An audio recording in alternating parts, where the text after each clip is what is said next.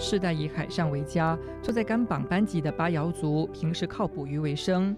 这次因为受到新冠病毒影响，生活顿时陷入困境。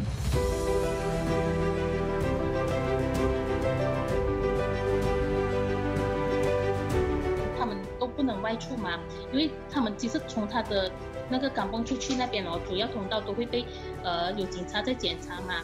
那他们这一群都是没有任何的证件嘛，所以他们都不敢出去，所以他们仅有的剩下的米呀，他们捕鱼啊来吃啊。没有关系。慈济接获提报，由四位斗湖志工和六位拿赌志工组成的团队立即前往了解规划发放。很感恩啊，拿赌的心发一菩萨哦，他们愿意承担嘛，哦，最重点是他们愿意承担。那解释姐问，诶，如果我们要做这个发放，你你们可以吗？他们就说可以这样子，那我们就进行这个规划了。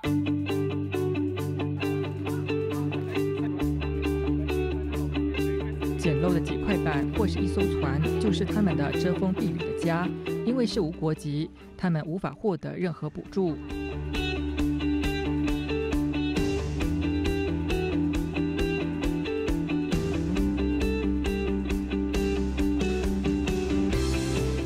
孩子们喜见职工的到来，因为他们已经很久没有闻到米饭香。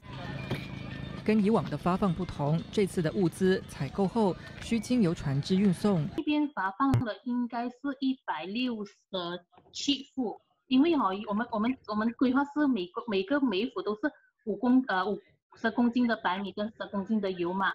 但是哈，有一些哈我们都不能发放这样多，是因为哈它的屋子里面呐不能容量这样重啊，就是说他们住在那个船上嘛，他们有些村民他们是住在船上哦。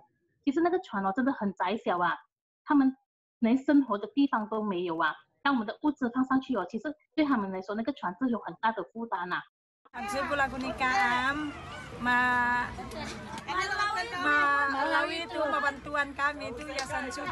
Ya, saya punya kehidupan syukurlah kan dibagi bantuan ni. Thank you bagi apa ini? Tuci punya. Kasih lah. Sebab kehidupan di sini ini beginilah. Kalau ada macam baru ada bantuan begini. 尽管发放遇到雨天，却无阻行程。